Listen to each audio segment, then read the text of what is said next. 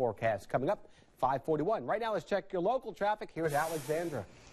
All right, let's take a look at our Jamie Casino traffic tracker who is traveling east on 278 and the roads are looking good. Nothing to be concerned about at this time. Let's go to our Richmond Hill map where you can see that everything is nice and green. They are 95 and 17. Everything is looking very good right now. Coming up in our next traffic hit, I'll tell you about some lane closures we have.